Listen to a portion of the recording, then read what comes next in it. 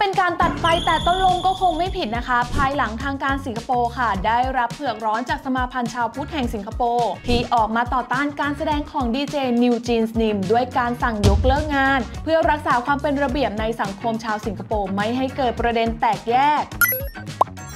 Why Wow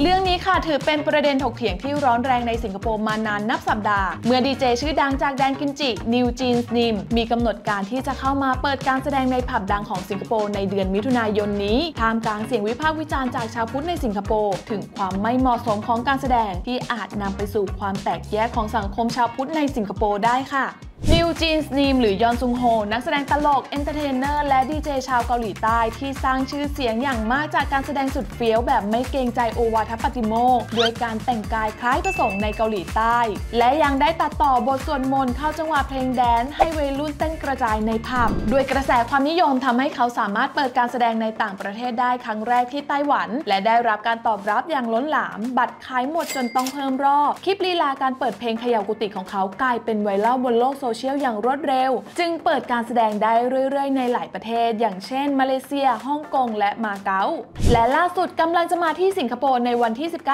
19-20 มิถุนายนที่จะถึงนี้ที่ผับคาบลิชแถมยังหยอดอีกค่ะว่า ถ้าเสียงตอบรับดีก็เพิ่มรอบได้ แน่นอนค่ะว่าเรื่องนี้นะคะ ร้อนถึงสมาพันธ์ชาวพุทธแห่งสิงคโปร์จนต้องออกมาโพสต์ข้อความผ่าน Facebook ต่อต้านการแสดงของดีเจนิวจีนสนิมเมื่อวันที่ 19 พฤษภาคมที่ผ่านมาว่า เขาเป็นดีเจไม่ใช่พระ และการสวมจีวรเพื่อการแสดงก็ขัดต่อพระวินัย ซึ่งระบุชัดเจนในพระธรรมวินัยของสงฆ์เมื่อดูแนวโน้มแล้วว่าจะเกิดปัญหาแก่สังคมค่ะ ทางการสิงคโปร์นะคะ จึงได้รับเรื่องพิจารณา และประสานงานระหว่างสมาพันธ์ชาวพุทธและผับ Club Rich ที่ดีเจคนดังมีกำหนดมาแสดงด้วยค่ะ โดยได้กำหนดให้นิวจีนส์นีมจะสามารถทำการแสดงในสิงคโปร์ได้ ก็ต่อเมื่อไม่เอาบทสวดมนต์มาทำเป็นเพลง dance เพื่อรักษาความเป็นระเบียบในสังคมชาวสิงคโปร์ไม่ให้เกิดประเด็นแตกแยก และแน่นอนค่ะว่านี่เป็นเงื่อนไขที่นิวจีนส์นีมไม่สามารถทำตามได้ เพราะนั่นคือจุดขายของเขาที่แฟนคลับคาดหวัง จึงทำให้การแสดงของนิวจีนส์นีมต้องถูกยกเลิกในสิงคโปร์ด้วยประการฉะนี้ค่ะ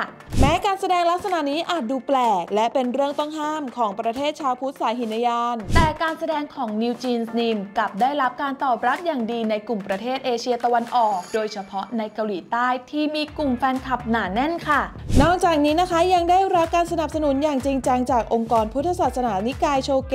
ซึ่งเป็นนิกายพุทธที่ใหญ่ที่สุดในเกาหลีใต้ โดยเห็นว่าการแสดงของนิวจีนส์นิมช่วยดึงดูดความสนใจของเด็กรุ่นใหม่ยุค Gen Z ได้เป็นอย่างดี แถมยังจัดงานสวดมนต์ใหญ่กลางสวนสาธารณะ ให้นิวจีนส์นิมมานำสวด ด้วยบทสวดทำนองเพลงตื้อที่มีคนรุ่นปู่ย่ามาพนมมือสวดมนต์ตามจังหวะศรัทธาได้อย่างน่าพิศวงค่ะ ยุคสมัยเปลี่ยนโลกเปลี่ยนบางบริบทก็เปลี่ยนซึ่งก็คงจะอยู่ที่ว่าใครรับได้หรือไม่ได้ หรือเหมาะสมไม่เหมาะสมกับที่ใดบ้าง ฉะนั้นถ้าจะให้หาคำตอบถูกผิดจากเรื่องนี้คงจะยากนิดนึงนะคะ Why Wow